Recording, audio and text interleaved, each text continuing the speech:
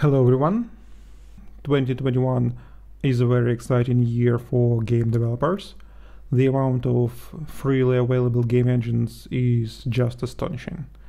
I want to share my thoughts on some of them. I hope that would help you to decide which engine is right for you and your project.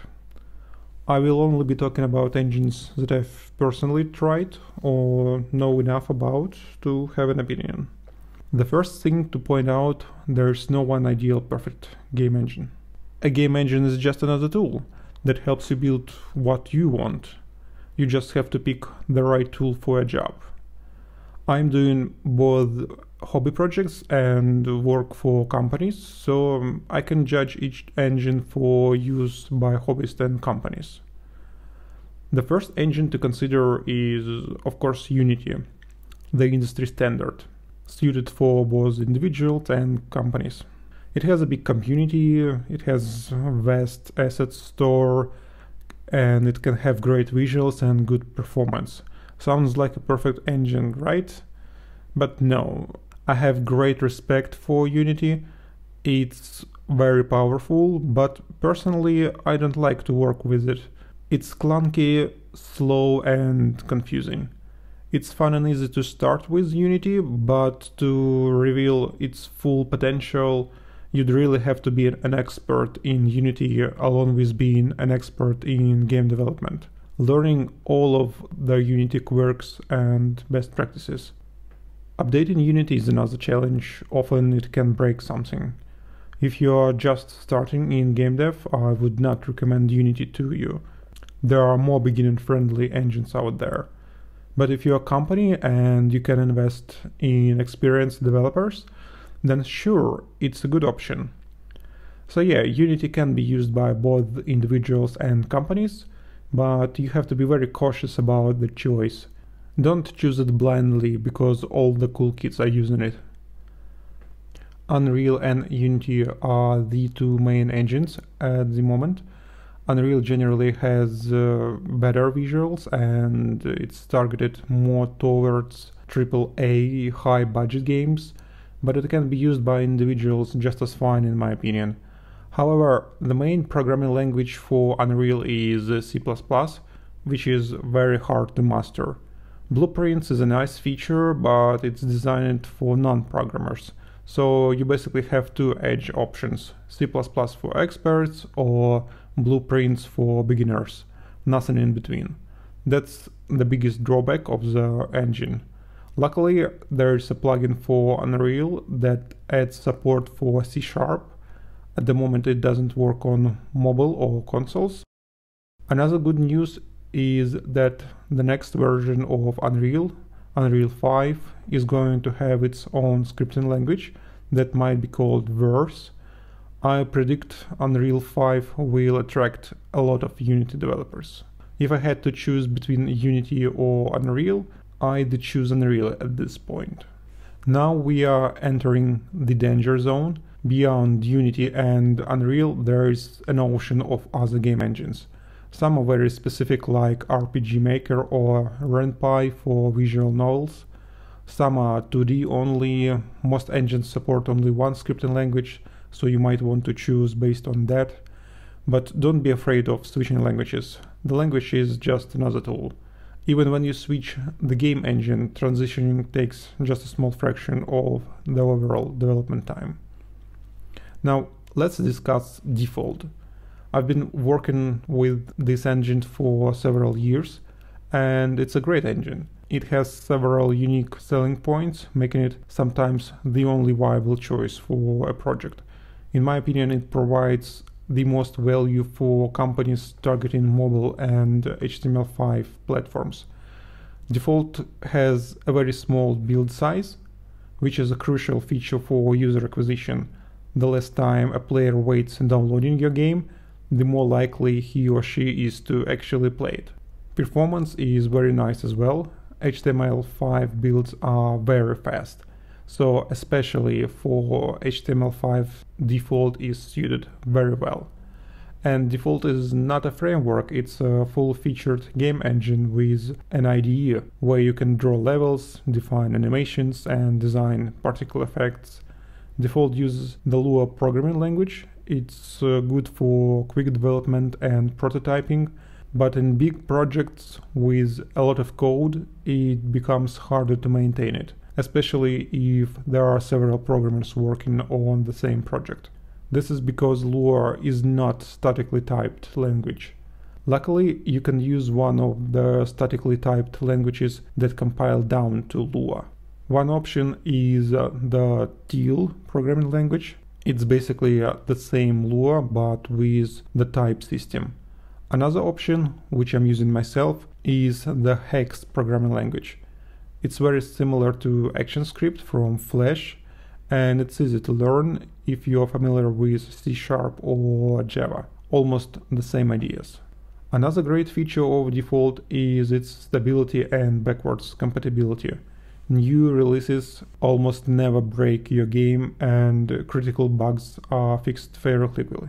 The development team is very close to the community. Also, the source code is basically open source. One time I was having a problem with a new component they've added to the engine. After reporting the issue, they couldn't understand what was the problem at first. So I opened the source code on GitHub myself and found where the problem might be just by reading the source code. The issue got fixed in the next release, which was in a week or two. What else? Defold has a small community, but it's very nice and welcoming. So if you are targeting mobile or HTML5, Defold should be your first choice for consideration. Small builds, great stability, and high performance make it very appealing for companies making big money. If you are an individual working on your game as a hobby, Defold is also a good choice. It's free, the Lua language is easy to learn, the engine is not bloated so you don't get confused with it. You can publish on Steam and Nintendo Switch. There's a cool game in development called Witchcrafter made with Defold that's it for Defold for now. I will make a separate video for beginners at some point. I'd like to make a few honorable mentions now. If you don't like IDEs and want everything to be made with code, if you like Lua, I can recommend Solar2D for mobile development. If you don't like Lua and you are an expert programmer, you can try Raylib, which uses C and has many other language bindings or you can try Heaps.io, which uses Haxe programming language. That's the engine Dead Cells game is made with. I use Heaps at my main job now. It's very niche game engine, but again, it has a few unique features, making it a good choice for our project. If you are not an expert programmer, I can recommend the Game Maker engine. It's very beginner friendly and I can recommend GameMaker over Construct. I think it's more viable in most cases. Now let's talk about Godot. When I discovered it, I quickly fell in love with it. Compared to Unity, it's a joy to work with. I like the work process much better. The API and engine design is more logical to me. For programming language, it has GDScript, which is similar to Python and supports both dynamic and static typing. The second option is uh, C Sharp, which I prefer myself. I think Godot is one of the best engines for hobby projects. The development speed is fast, the IDE is future rich and works really well. Visually, the renderer is not on par with Unity or Unreal, but the next version of Godot is going to be an eye candy and you don't have to wait for the next version to start using the engine. You can start building your game now and apply all the visual effects later when the game gets its shape. The community is big and growing. Performance was a big issue with Godot previously. Now it's better and should be much better with their next release. It's not so great on mobile or HTML5, it's just okay. So you would mainly focus on desktop with Godot, publishing on Steam, It's also possible to port your game to consoles, but that's not a straightforward process. Godot can be used by companies with enough justifications, but more often companies stick with what has proven to work already, ending up with Unity or Unreal. However, a recent game, Sonic Colors Ultimate, is made with Godot. Both Defold and Godot are my main recommendations for you. They are free and open, both support many platforms. If your main target is mobile or HTML5, try Defold first. As for 3D graphics, while Defold does support 3D rendering, it's not as sophisticated as in Godot. So if you are making a 3D game, try Godot first. And things are getting interesting if you are making a 2D game for desktops. Both engines are good at it. Defold is easier to use, and Godot has a better rendering pipeline if you need 2D lighting.